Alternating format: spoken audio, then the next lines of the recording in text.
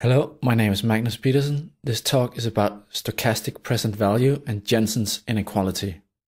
The present value of earnings for year T is the amount that would have to be invested today with an annual rate of return D, also called the discount rate, so as to compound into becoming earnings T after T years.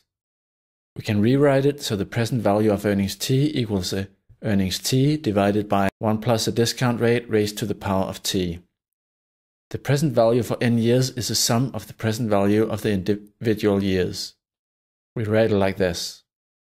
And we could have the number of years n go to an infinity. So what is Jensen's inequality? If we let x be a stochastic variable and let phi be a convex function, and we will demonstrate it on the next slide what that means, then Jensen's inequality states that if we apply the function phi to the variable x and then take the mean, then the result is greater than or equal to first taking the mean of the stochastic variable x and then taking the function phi. And this becomes a strict inequality if the function phi is strictly convex and the variance of x is greater than zero.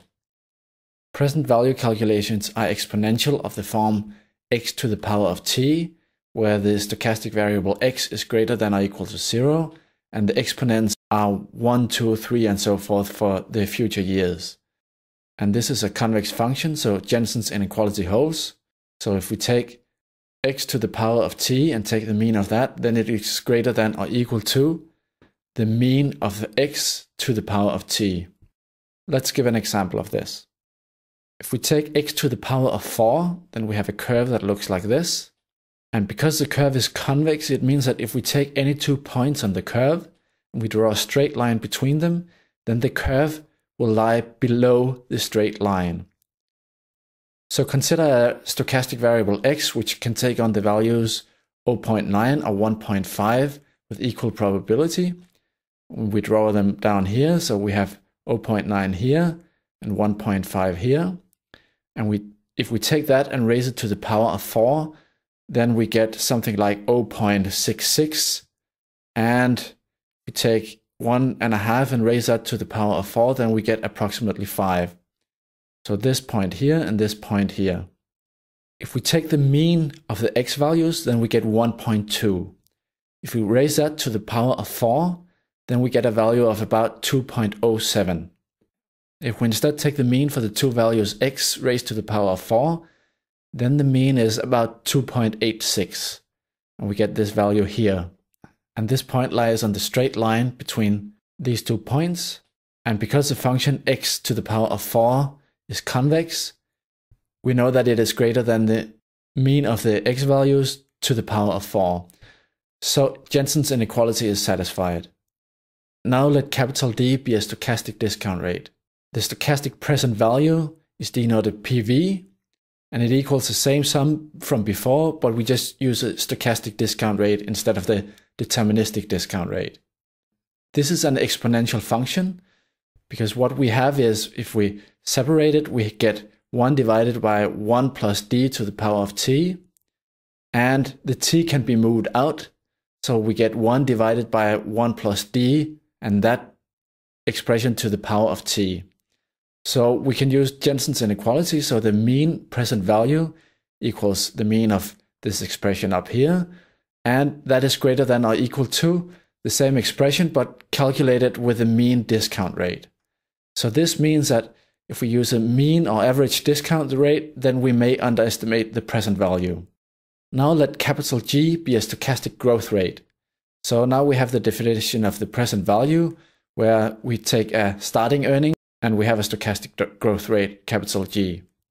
This is an exponential function because it is raised to the power of t, and according to Jensen's inequality, we know that the mean present value, which is the mean of this expression here, is greater than or equal to the estimate from using the mean growth rate. In other words, the mean growth rate underestimates the present value. Now let capital G and capital D be stochastic growth and discount rates. So the present value is defined like this. Now we have stochastic growth rate here and a stochastic discount rate here. But once again, we have an exponential function. So this is raised to the power of t. And this means that Jensen's inequality once again holds. So the actual mean present value is greater than or equal to the estimated mean present value calculated from the mean growth rate and the mean discount rate. So let's give an example of a stochastic discount rate, which can be either 2%, 10%, or 14%. The average discount rate is about 8.7%. We will let the earnings equal 1 for convenience. I use a computer spreadsheet to calculate the mean present value for the first 10 years, and what I get is the actual mean present value is about 6.78, and when we estimate it using the mean discount rate, then it is only 6.51. So the actual mean, which is this number here, is about 4% greater than the estimated mean. Now let G be a stochastic growth rate that can be either minus 10%, 5%, or 20%. The average growth rate is 5%. Let the discount rate be a constant of 10%. Once again, I use a computer spreadsheet to calculate the mean present value, and the actual mean present value is about 9.45, and the estimated mean present value is about 7.81. So the actual mean is about 21% greater than the estimate. That's a big difference. Now let's see an example where we have both a stochastic growth rate and a stochastic discount rate.